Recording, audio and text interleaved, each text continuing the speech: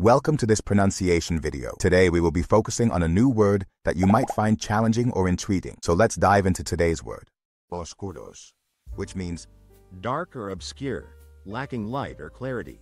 let's say it all together. Oscuros. Oscuros. Oscuros. One more time.